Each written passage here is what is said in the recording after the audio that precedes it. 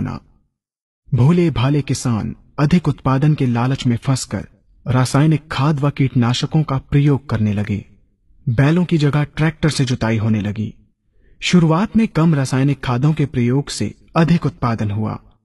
धीरे धीरे रासायनिक खादों के प्रयोग के कारण भूमि की उर्वरा शक्ति क्षीण होने लगी, जिसकी वजह से उत्पादन घटने लगा तथा फ़सलें कमज़ोर होने लगी।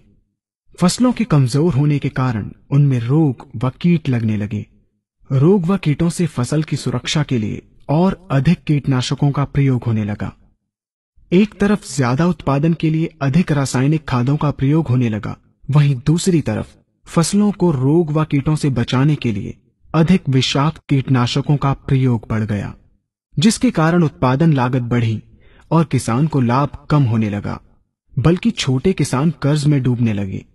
धीरे धीरे भूमि की उर्वरा शक्ति क्षीण होने से भूमि बंजर होने लगी।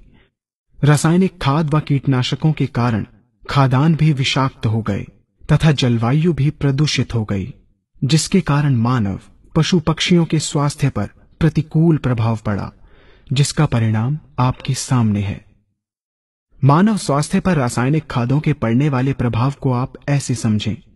जब किसान फ़सल में रासायनिक खाद डालता है तो रासायनिक खाद में उपस्थित विषाक्त रसायन जल में घुलकर, सबसे पहले जल को प्रदूषित कर, भूमि के अंदर उपस्थित केचुए व सूक्ष्म जीवाणुओं को मार देता है।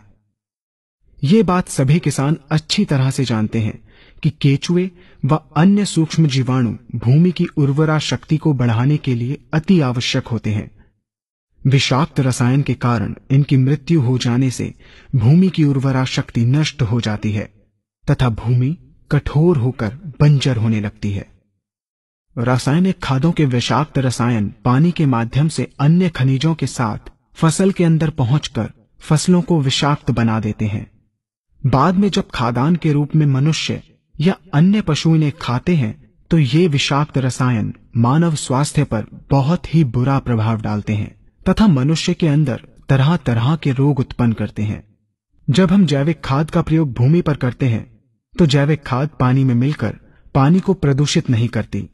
जैविक खाद भूमि के अंदर उपस्थित उर्वरा शक्ति को बढ़ाने वाले जीवाणु तथा केचुओं की संख्या को तीव्रता से बढ़ाती है, जिससे भूमि की उर्वरा शक्ति बढ़ती है तथा भूमि छिद्र युक्त एवं भुरभुरी हो जाती है, जिससे वायु और प्रकाश भूमि के अंदर गहराई तक प्रवेश करते हैं।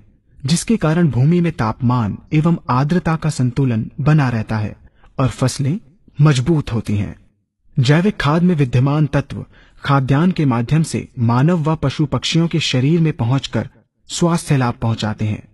जैविक खादों के प्रयोग से फ़सलें अच्छी और मज़बूत होती हैं, जिसके कारण उन पर रोगों एवं कीटों का ज़्यादा प्रभाव नहीं पड़ता। यदि किसी प्राकृतिक कारणवश कीटों व रोगों का प्रभाव अगर पड़ता भी है तो गौमूत्र एवं औषधीय वनस्पतियों के घोल के छिड़काव करने से फ़सलों को रोग एवं कीटों से बचाया जा सकता है। गौमूत्र एवं अन्य प्राकृतिक औषधियों के मिश्रण के छिड़काव से फ़सलों का कम लागत में बचाव हो जाता है, तथा वातावरण पर भी कोई दुष्प्रभाव नहीं पड़ता। यहाँ हम आपको तालिकाबद्ध तरीके से दोनों